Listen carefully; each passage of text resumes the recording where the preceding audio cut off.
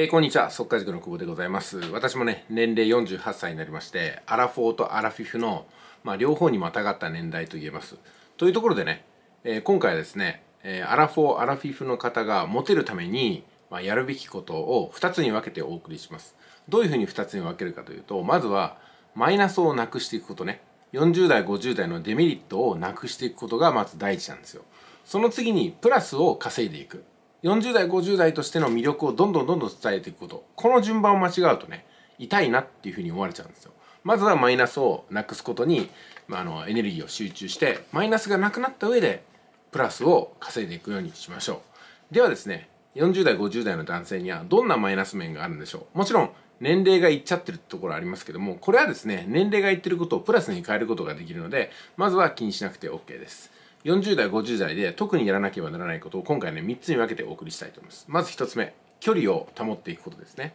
やっぱり人間関係の距離ってものがあります。ですのでねズケズケと入り込まないこと。かといってあまりにもね離れすぎているとやっぱりアプローチができませんので適切な人間関係ということになります。じゃあ何が適切な人間関係と言いますとこれはちょっとね誰とどういう関係になるのかって個別具体的なことになりますのでこの辺についてはね、えー、また別のをメールでお伝えしようかと思います。メールといいますかね、Q&A でお伝えしようかと思いますので、えー、私は、えー、意中の女性がこういうところにいるんだけども、職場関係はこうで、えー、2人の関係はこんな感じなんですけども、その時の適切な距離っていうのはどんなものがありますかって形でね、聞いていただければ、個別具体的にお話できると思います。えー、とにかくですね、人間関係の距離を保つってことが大事ですんでね、これ1つ目にお話したいと思います。で、2つ目は物理的な距離です。あまりにも近づきすぎちゃうとやっぱりね惹かれちゃいますしあまりにも遠くだとあまり思いが伝わりませんので適切なディスタンスっていうのがあるんですよ。物理的な距離。いやこれを保っていくようにしましょう。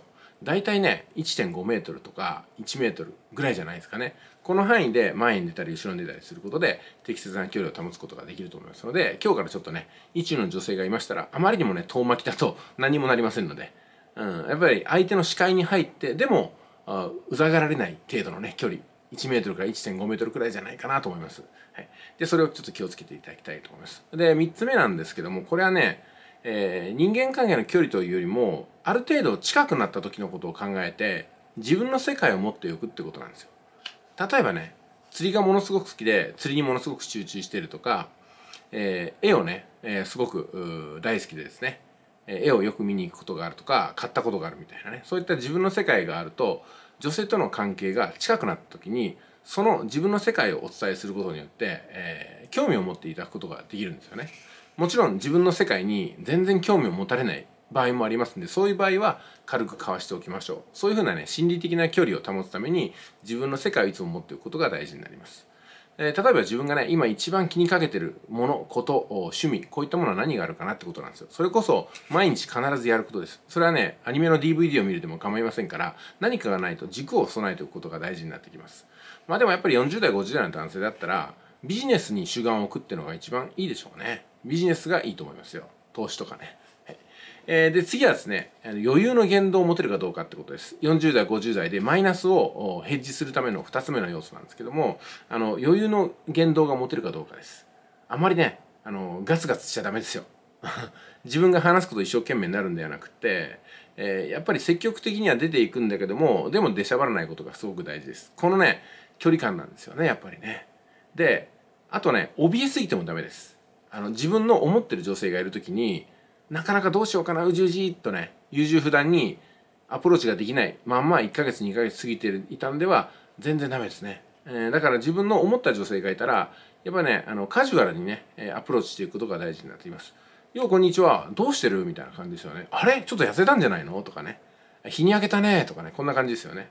えこういうふうな言葉が軽く交わせるようにならなければまずはね女性がバリアを解いてくれませんので、えー、実はですねいつかできるようになるじゃなくて今日からやっていくことによってだんだんそれが苦にならなくなるってことなんですよ。そういうことで、えー、ちょっとね気をつけていっていただいて、え、女性に対しての声のかけ方うんはこう積極的になりつつもガツガツせずにそして怯えないこと。やっぱりこれもね微妙なバランス関係っていうものがありますんで、えー、どうしてもね分かりにくければ私の方にメッセージいただければと思います。で3点目ここでね初めて具体的なことをお話しできます。3点目はあなたの清潔感です。自分ではあるつもりでも実際に具体的にお話しするとしまったと思うことがあるんじゃないかなと思います。例えばお風呂に入るペースです。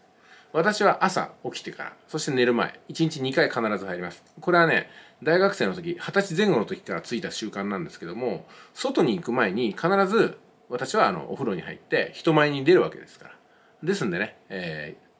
ちょっとこう綺麗にしていくってことを意識を高めてますね。で帰ってきたらやっぱよ外の汚れがついてますので家の中に入ってきたら真っ先にお風呂に入るってことをしています。外から帰ってきた格好のまんまでその家の中をうろうろして外のゴミをねいろんなところに振りまくようなことはしないようにしてます。とにかく出る前に、えー、お風呂。帰ってきたらお風呂っていう感じで外と中の清潔関係っていうのはきっちりとするようにしてますね。そして2つ目なんですけども匂いですね。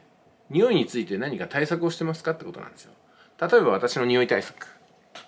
こういったものですね。こういったものを買って切れないように使っている。ドラッグストアで1000円ぐらいのものです。でちょっと高いものですけどクリームになるとこれがね4000円ぐらいするんですけどもこれをこまめにつけるようにしてますね。そうするとねあんまりギトギトした匂いじゃなくてほのかに香るような感じになるんですよ。これがだからあ匂いに気使ってる大人の魅力なんですよね。女性は自分の体臭にものすごく気を使っていろんなね匂い消しとか香水などを使ってますんでやっぱりね男性の側としてもほのかに香るようなものをねつけた方がいいと思います。職場によっては香水が禁じられてますけども先ほどのようなものはねあの香水でも何でもないですから石鹸の延長にあるものですからでしっかりとねそういったものに気を配っていただきましょう。でお風呂にちゃんと入ってますかってこと。1日に何回入ってますかとかね1日おきとかじゃないですよ。毎日ですよ基本的に。基本的に毎日入んなければ清潔感は演出できません。2つ目は匂いにきちんとアイテムを使ってるかどうかってことなんですよ。使ってない方はすぐに買って毎日使うようにしてください。コロンである必要はありません、えー、本当にドラッグストアに行ったら1000円ぐらいで石鹸の延長線上のなんですかね匂いケアみたいなのがありますんでそれを必ず買うようにしてください。で3つ目なんですけど服のメンテナンスですよね。あのこうなってないですかね。外から帰ってきますよね。外から帰ってきたら自分の服をソファーか椅子にボンとかけちゃうこと。これは一生やらないでください。椅子っていうのは服をかけるようになってませんから絶対にかけないです。外から帰ってきたら即洗濯機に入れて全部着替える。先ほどのお風呂の話がここで出てくるんですよ。外から帰ってきたらお風呂に入る。その時に全部の服を全部洗濯機に入れるんですよね。でお風呂から出てきたら自分の家の中をうろうろするのはもう家の中で着る専用の服になるんですよ。こういうふうなメリハリをつけることですよね。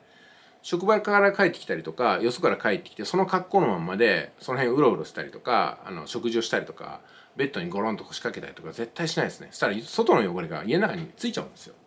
で何よりもそういう意識を持たないってことなんですよ。何でもかんでも適当でいいやじゃなくてどこにいる時でもきちっきちっとね、えー、P えー、なんですかね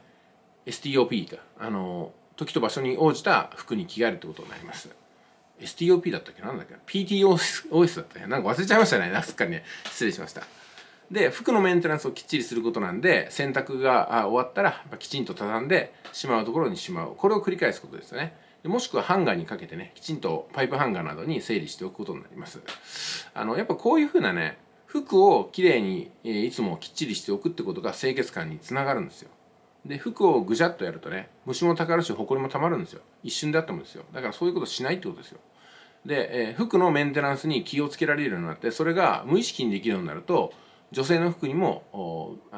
気を配ることもできますんでね、うん、非常に大事なことだと思います。清潔感のない方って今お風呂のこととかあの香りのこととかねそれから服のことが全然できてないんですよ。この辺40代50代になっていまだにねあのソファに服をボーンと置いちゃうとかね。うん、なんかやっぱりこう気を配れないっていうところはもう女性をお迎えする体にはなってないって考えた方がいいんじゃないかなと思います。はい。ということでね、どんどん見える点も見えない点もマイナス面をどんどんどんどんなくしていくことが、まあ40代、50代の恋愛する男の責任ではないかなと思いますけどね。この辺適当にしといていいことはないと思います。もうもちろん私全てやってますからね。これモテるためにやってるわけなんですよ。うん、で、それが習慣になって今でもやってるってことになります。あと次はね、プラスを稼ぐことですね。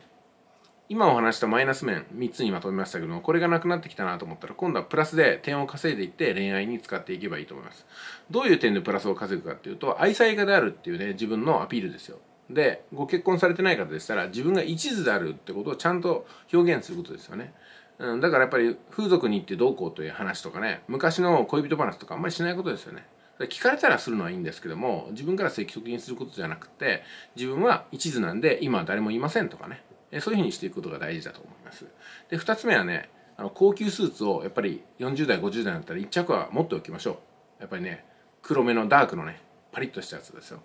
これはね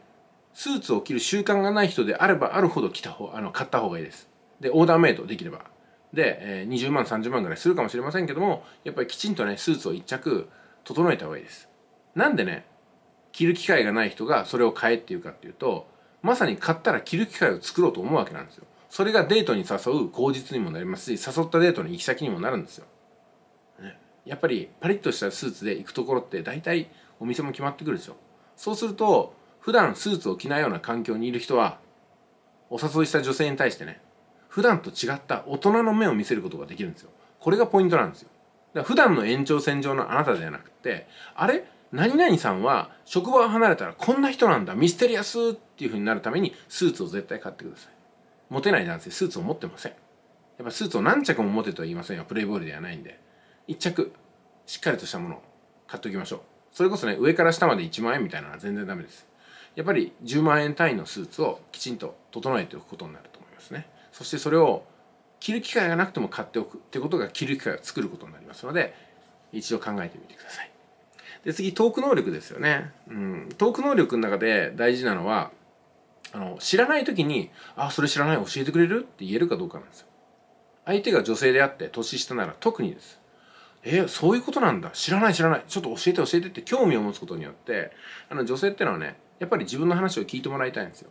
ですんで男性が一方的に自分の過去話をするのは非常につまんないんですよね。そうではなくってあ意外に何々さんってこういうこと知らないんだっていうふうなここでも意外な面を見せることです。ただしですね40代50代になって当然知ってていいことをあ知らない教えてっていうのはこれはちょっと恥ずかしいんで基礎知識は身につけておきましょう。その基礎知識40代になっても50代になっても知るべきこと知らないっていうのはこれは単なる恥ですからね。そこに対して知らないから素直に教えてっていうのはこれはねあの素直さでも何でもないんですよ。やっぱり良くないことだと思いますんでね。さすがにそれはきついと思いますよ。特に若い女性に恋愛してる方10歳上とか20歳上の男性に対してはもうねパーフェクトなもんだと思ってるんですよ。例えば年収はそこそこあって折り目が正しい習慣があって、えー、まあ所作もねきちんと整っていて人脈ものすごく大事にできて大人なんだろうなっていうところを見てます。ですのでその期待に応えていきましょう。それができていないと圧倒的な減点になります。あれこの人年だけ取ってどうしようもない人ねってなるんですよ。そうなるとねもうアウトですね。逆にそういうところをごまかしてしまうと恋愛に入った時に本当に女性を不幸にしますんでそれだったら最初から振られた方がいいって話になります。えー、ということで、ね、今回はねマイナス面プラス面を分けてお話ししましたけどもまずマイナス面をなくした上で、えー、まだね周りに女性がいるようでしたらその女性に対してプラス面をどんどんどんどんね見せていけばいいんじゃないかなと思います。えー、それではね、え今回は以上です。